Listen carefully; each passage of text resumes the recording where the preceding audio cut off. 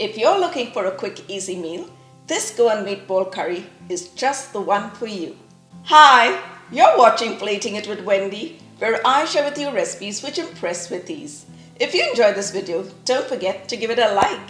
And if you haven't subscribed already, click that subscribe button.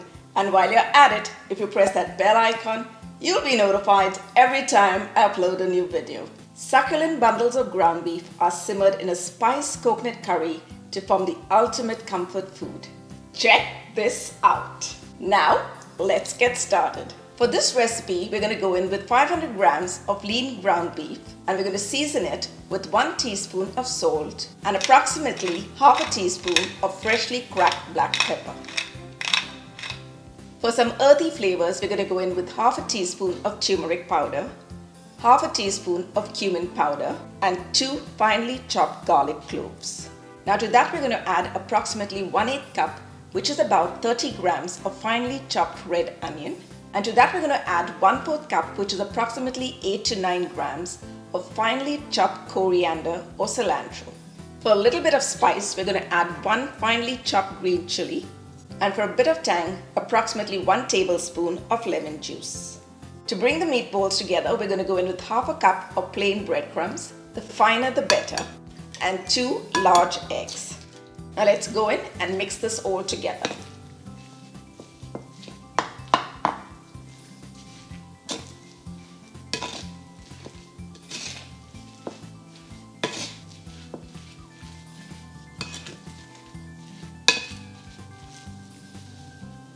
Okay, that's looking well mixed. Now let's form the meatballs. We're going to go ahead and roll up the meatballs and we're going to keep them to a medium size, approximately an inch and a half in diameter and weighing about 30 grams each. Just going to take a small bit and roll it, putting a little pressure so that it stays firm together.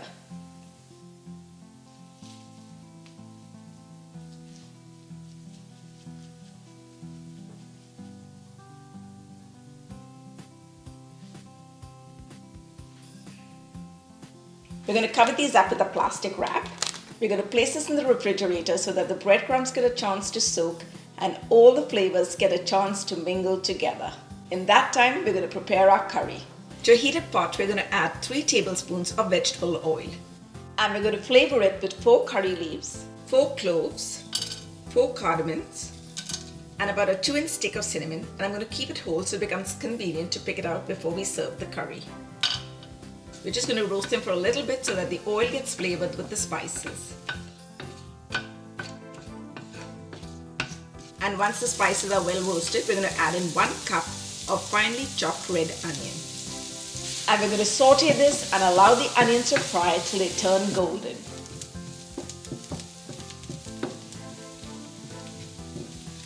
The onions have turned golden, so it's time to add in half a tablespoon of ginger paste and 1 tablespoon of garlic paste.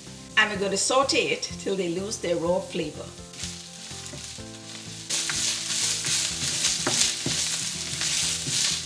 And to that we're going to add in 3 tablespoons of tomato puree. Or if you wanted, you could add in 1 finely chopped tomato. We're going to saute this and allow it to cook till the oil separates from the mixture.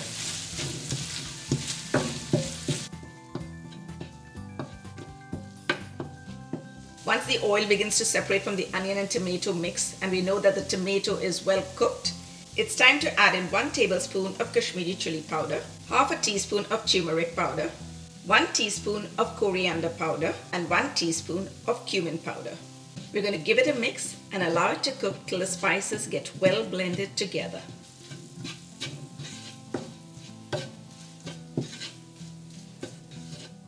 To make our curry, we're going to add one and a half cup of water and one cup of creamy coconut milk. We're going to mix this together till they get well combined.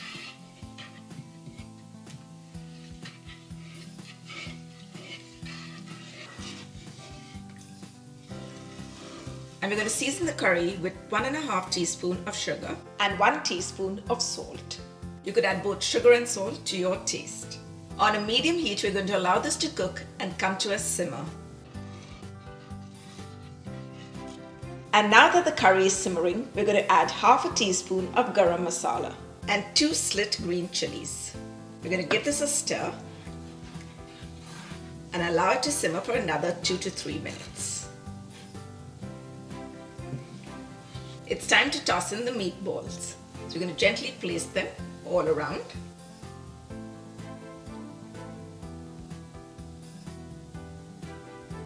We're going to cover this and allow it to cook for about 5 minutes on a low heat. Now we're going to take off the lid and give the meatballs a swirl.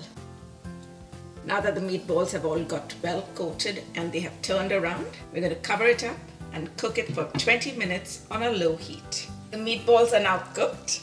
We're going to switch off the stove and garnish it with some finely chopped coriander or cilantro. We're going to give it one final swirl and now we're going to plate it.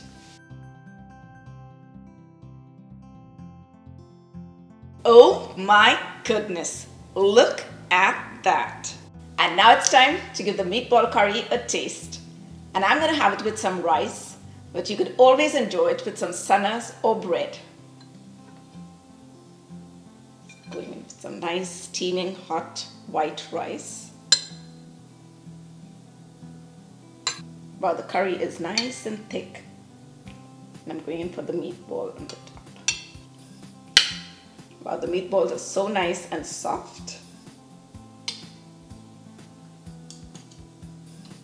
Hmm.